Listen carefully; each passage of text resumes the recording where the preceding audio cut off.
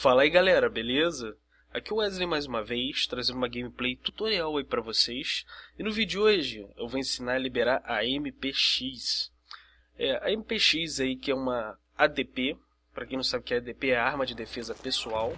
Ela é da DLC Dragon Chief, recém-lançada. E só lembrando, esse tipo de arma, arma de defesa pessoal, só é disponível aí pro kit de engenheiro. Então vamos logo ao interessante aí que é o assignment, para liberar essa arma.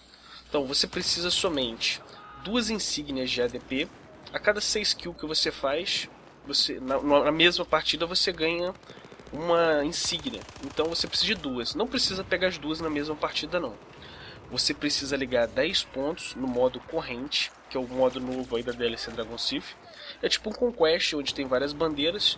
Aí você precisa ir pegar. Se você pegar A, você tem que ir na B para ligar uma corrente, entendeu? Fazer uma sequência.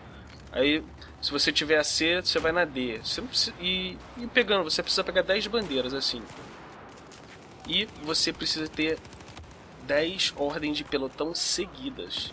É, quando você tiver como chefe do, do pelotão, né, do, do seu esquadrão aí, que fica representado no mapa com uma estrela, né? Sempre tem, tem umas bolinhas verde que fica no mapa, que é do teu esquadrão, e tem uma estrela verde. Essa estrela verde é o chefe do pelotão. Quando você tiver como chefe, você precisa dar uma ordem, tipo spotar uma bandeira, ele vai, vai gritar, ah, vamos pegar o objetivo tal.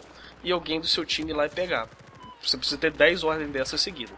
Então, repetindo, duas insígnias de ADP, ligar 10 pontos no modo corrente e ter 10 ordens seguidas. É isso aí, galera. Vídeo curto e objetivo aí. Se você gostou, peço que deixe um gostei.